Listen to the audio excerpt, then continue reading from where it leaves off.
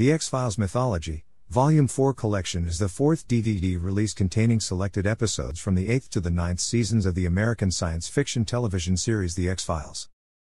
The episodes collected in the release form the end of the series mythology, and are centered on those that involve the alien super soldiers and Dana Scully's son, William. The collection contains seven episodes from the 8th season and seven from the 9th. The episodes follow the investigations of paranormal related cases, or X Files, by Federal Bureau of Investigation Special Agents Dana Scully and John Doggett. Following Scully's former partner Fox Mulder's abduction by aliens. The two are assisted by Assistant Director Walter Skinner and Agent Monica Reyes. Events covered in the episodes include the return, death, and resurrection of Mulder, the birth of Scully's child, William, the discovery of the super soldier conspiracy, the discovery of the remains of a spaceship in Canada, Scully's choice to give William up for adoption, and Mulder's trial. Conviction, escape, and discovery of the truth. The collection contains the final episodes in the series mythology, or fictional overarching story. The release features the closure of most of the series' long running arcs. Production for the episodes was drastically affected after co star Duchovny left the show. Released on November 22, 2005, the collection received mixed to negative reviews from critics.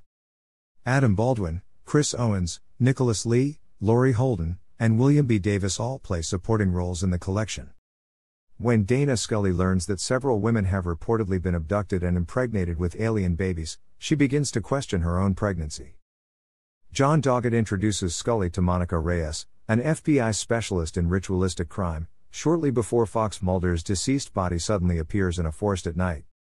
Following Mulder's funeral, Assistant Director Walter Skinner is threatened by Alex Krycek that he must kill Scully's baby before it is born. Billy Miles, a multiple abductee who disappeared on the same night as Mulder, is returned deceased but his dead body is resurrected and restored to full health. Mulder also returns from death, with Scully supervising his recovery. Fully rejuvenated, Mulder investigates several X Files, against orders to do so, but soon gets fired, leaving Doggett in charge of the cases. Mulder continues to provide input in an unofficial capacity. Reluctantly accepting Krycek's assistance, Mulder, Doggett, and Skinner learn that an alien virus recently created in secret by members of the United States government have replaced several humans, including Miles and several high ranking FBI personnel, with so called alien super soldiers. Krycek claims that the soldiers are virtually unstoppable aliens who want to make sure that humans will not survive the colonization of Earth. They have learned that Scully's baby is a miraculously special child and are afraid that it may be greater than them. When Miles arrives at the FBI headquarters, Mulder, Doggett, Skinner, and Krycek help Scully to escape along with Reyes, who drives her to a remote farm. Shortly after Skinner kills Krycek, Scully delivers an apparently normal baby while the alien super soldiers surround her. Without explanation, the aliens leave the area as Mulder arrives. While Doggett and Reyes report to the FBI headquarters, Mulder takes Scully and their newborn son, William, back to her apartment.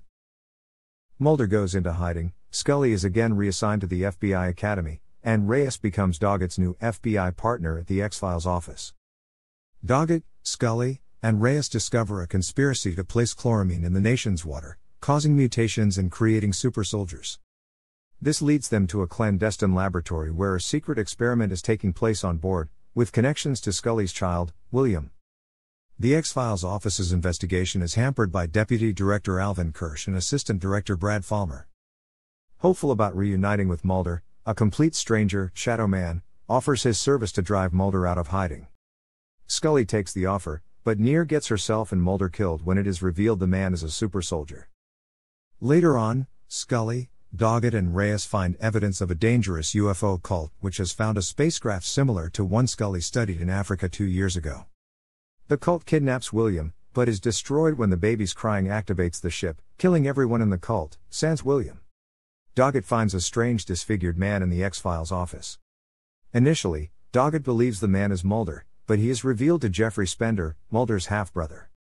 Spender sticks a needle into William, which the other agents believe to be a virus of some kind, but is later revealed to be a cure for William's powers. Mulder returns from hiding to only be discovered looking for classified information at an army base and, after allegedly killing an apparently indestructible super soldier Knowle Rohrer. He is placed on trial to defend the X Files and himself. But with the help of Kersh, Scully, Reyes, Doggett, Spender, Marita Covarrubias, and Gibson Praise, Mulder breaks out. Mulder and Scully travel to New Mexico to find an old wise man, who is later revealed to be the smoking man, who tells them that the aliens will arrive in 2012. Doggett and Reyes aid Mulder and Scully in escaping the FBI, and the two are last seen together in a motel room facing an uncertain future. The collection features co star David Duchovny in only half of the episodes, due to him leaving after the eighth season. After settling his contract dispute with Fox, Duchovny quit full time participation in the show after the seventh season. In order to explain Mulder's absence, Duchovny's character was abducted by aliens in the seventh season finale, Requiem.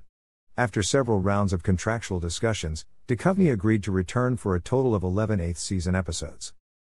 Thus, Per Manum marked the return of Duchovny as Mulder, although he had appeared briefly in flashback appearances and small cameos.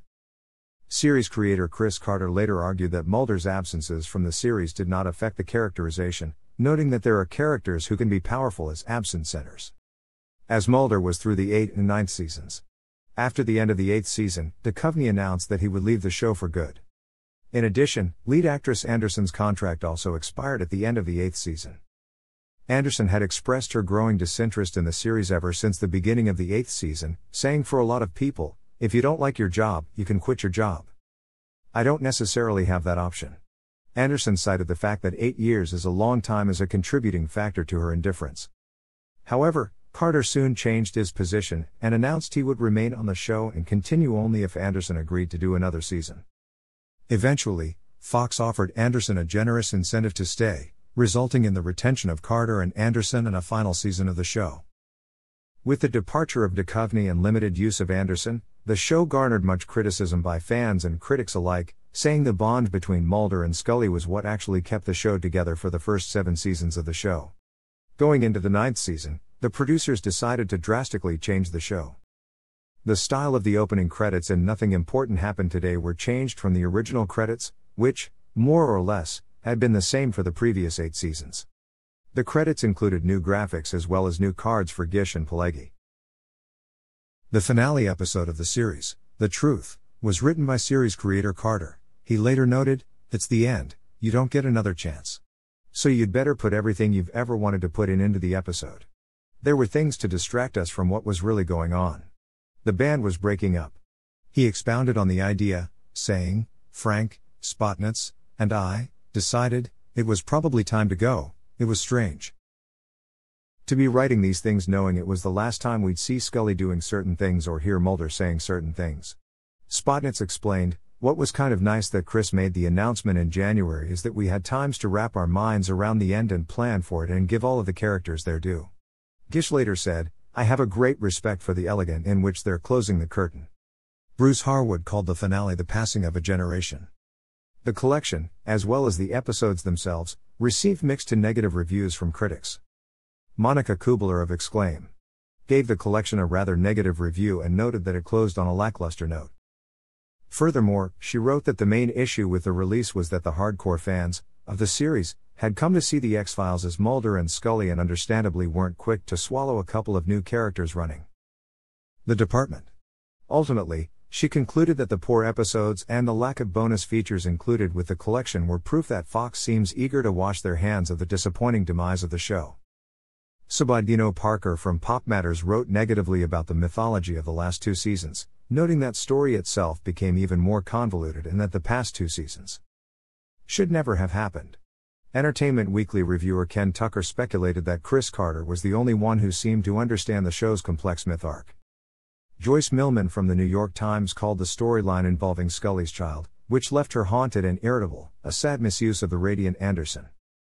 The AV Club was highly critical of the final season and its mythology story, calling them a clumsy mishmash of stuff that had once worked and new serialized storylines about so called super soldiers. Carade. In some regions, the last episode, The Truth is split up into two episodes and not one. Thanks for watching.